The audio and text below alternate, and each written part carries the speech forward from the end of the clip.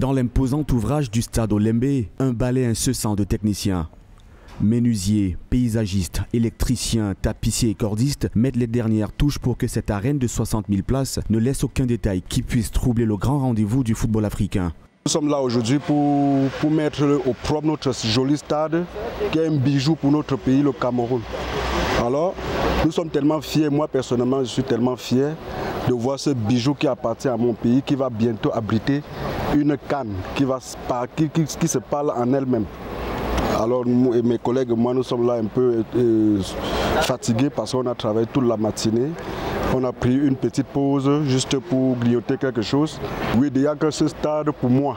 Je ne suis même pas d'abord convaincu, c'est comme si c'était un rêve pour moi de voir ce stade dans mon pays. Demain, le stade Olembe se serait vidé de ses techniciens et artisans pour laisser place aux acteurs de la Coupe d'Afrique des Nations. Au nombre de ceux-ci, les Lions indomptables du Cameroun qui affrontent le Burkina Faso en match d'ouverture dans un stade tout neuf qui aura vu la touche de cette tapissière. Présentement, on colle les tapis à, l'esplanade présidentielle pour que ça soit prêt. C'est vraiment un honneur pour moi de travailler ici. Vraiment, pour moi, c'est une opportunité vraiment que j'ai saisi et c'est vraiment ça m'émeut. 1972-2022, 50 ans plus tard, le pays des Lions indomptables abrite la Coupe d'Afrique des Nations. Cette année-là, c'est le stade Amadou Ahidjo qui avait abrité le rendez-vous, soldé par un échec à domicile. Au stade Olembe, arène toute neuve, les Lions annoncent une issue différente.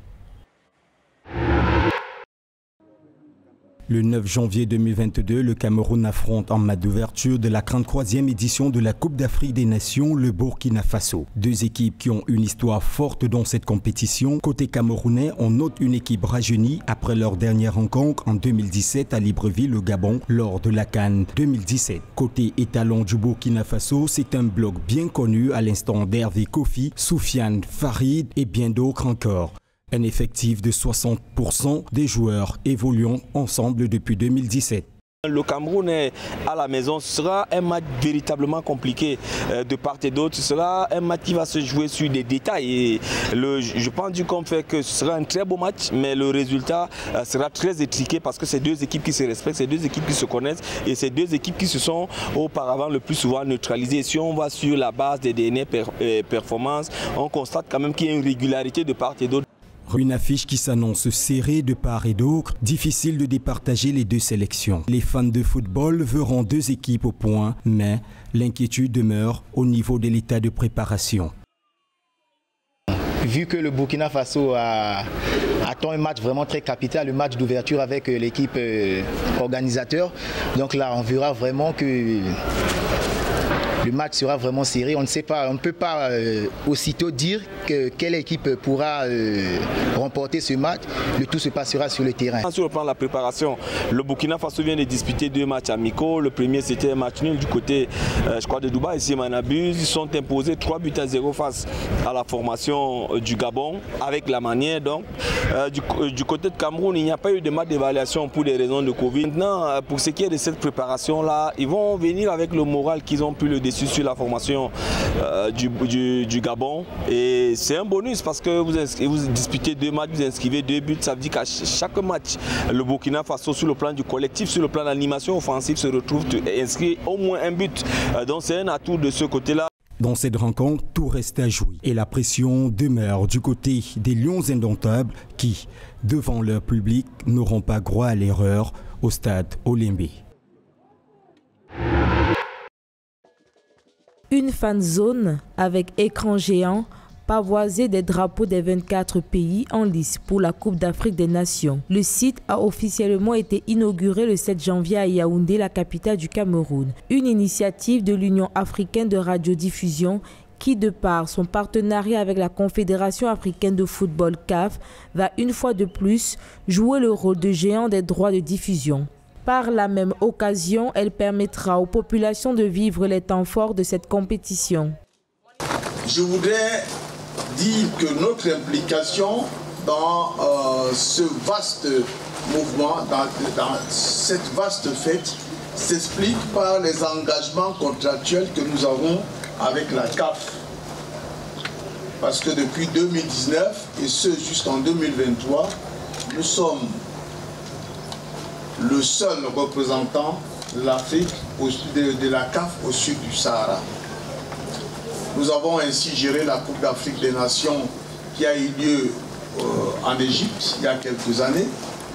Et nous voici ici au Cameroun et nous voulions marquer de cela euh, d'une pierre blanche.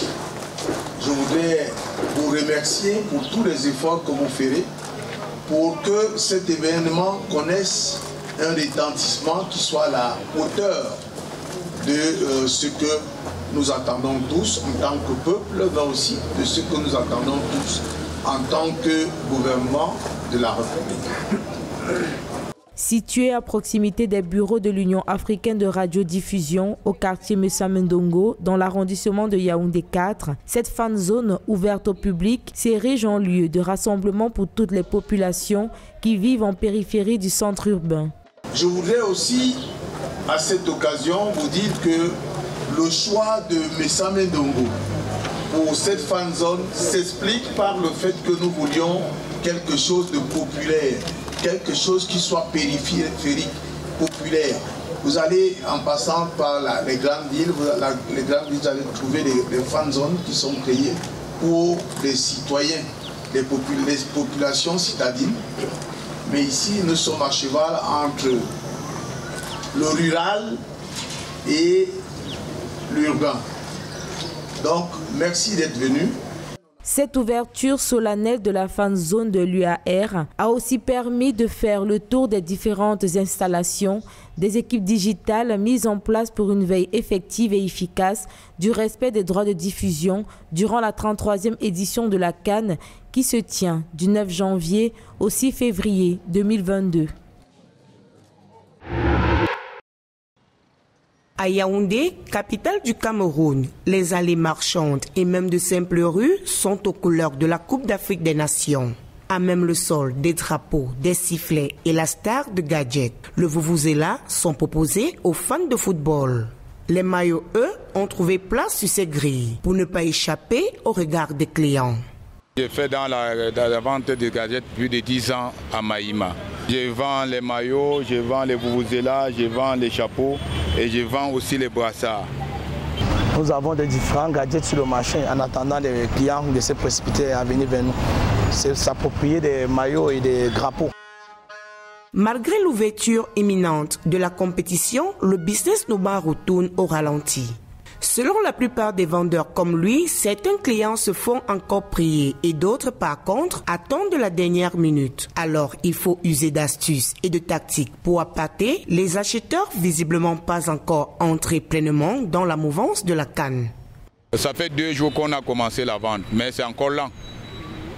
Parce que les Camerounais attendent toujours les dernières, les dernières heures. Pour le moment, les gens n'achètent pas encore beaucoup de choses, mais on a espoir que d'ici les jours à venir, il y aurait quand même l'affluence sur le marché. Le temps de la Coupe d'Afrique des Nations, certains Camerounais se sont mués en vendeurs. Thomas ne veut rien manquer de l'opportunité qu'offre cette grand-messe du football continental. Ma part de spécialité, je vends d'abord le tapioca. Quand la canne commence comme ça, comme moi j'aime supporter les Lions indomptables, je vends les maillots et les casquettes. Les maillots commencent à partir de 5 000 francs en montant et les chapeaux c'est 2 000 à 3 000 francs. Et moi, je veux dire un mot pour encourager les Lions.